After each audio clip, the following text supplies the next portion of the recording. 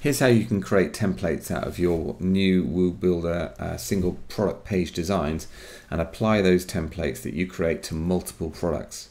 So here's a, here's a design that I've quickly created and it's a very simple one. All I've done in this instance is move the main product image over here on the right uh, and you'll see when I go to my other products they've got different layouts whereas the main product image is over here on the left. So it's quite a simple example uh, but it's a design that I've customized uh, and to create a template out of this, all you do is go to edit product and you'll see here's my product that I built and it's just a, as I said just using WooBuilder to build a fairly uh, simple layout.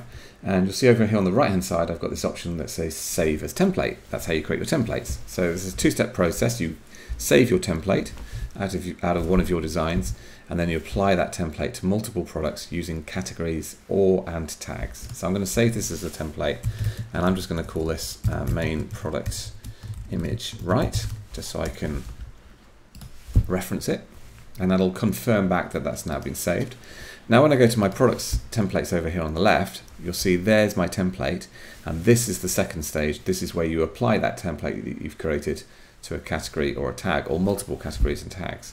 So in this instance, I'm going to just um, categorize this, assign this to the category women.